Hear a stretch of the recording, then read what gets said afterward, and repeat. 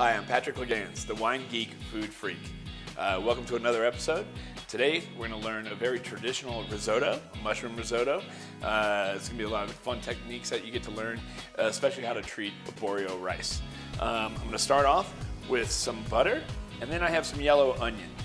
I like to uh, do onions and uh, mushrooms usually on like a medium temperature because uh, you want to sweat them out. You want them to turn into like window panes uh, for the onions, and then on the mushrooms, you want to over time they'll leach out their interior uh, juices. That's one of the reasons why you don't want to add them until a little later. If you were to add them now at the beginning process, you would wind up putting too much uh, water liquid and you would stop the butter from uh, being blonde properly.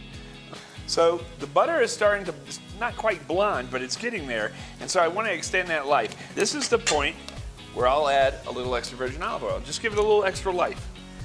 So we're using arborio rice. That's from the town of Arborio in the Po Valley in Italy. It is a high starch rice.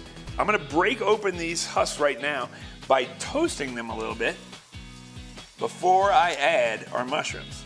This is a very active uh, process, this risotto. Um, it's not something you put all the stock in and you just wait and reduce.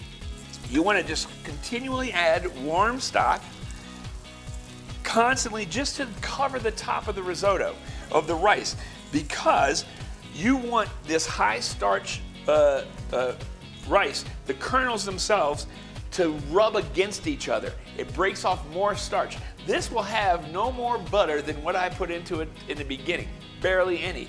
And watch how creamy this is gonna be. And it's because of the process that we do, so it's super important. I'm gonna add some mushrooms right now. I have oysters and uh, baby boletes. Stir this in there. I'm gonna add that salt just so I can start breaking them down a little bit. The other thing is I'm also, by stirring this and not, you know, toasting it this way, not only am I cracking the exterior of the uh, risotto, I'm also, by stirring it so much, I'm really agitating them against each other. Again, just releasing more starch. All right, I'm to a point where I think I can add my stock. I'm just gonna add it to where it's just above the top of the risotto, okay? And then I'm gonna constantly add it and stir it as I go. The more I stir it, the more creamy it will get. What we're gonna go for here is we want it just talking to you which just means a bubble every few seconds. Bloop. It's been about 15 minutes since uh, you last saw this, and I've been adding that hot stock. I'm gonna add that Parmesan cheese right now.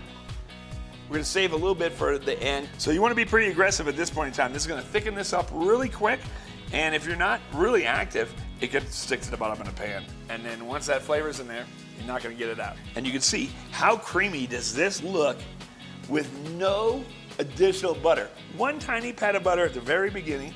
This is a fair amount of risotto. And that's just because we've treated the starch on the arborio rice properly. so creamy, it's just amazing that it doesn't have any additional butter in there. I'm gonna place that right there. I'm gonna put a little Parmesan cheese over the top. I'm gonna take a little bit of that flat leaf parsley, just sprinkle for some color. And that my friends, is world-class mushroom risotto. I want to thank our sponsor, Sidework Restaurant. Uh, and remember, good ingredients, a few minutes of your time, and some care, and you can eat like me, the wine geek, food freak.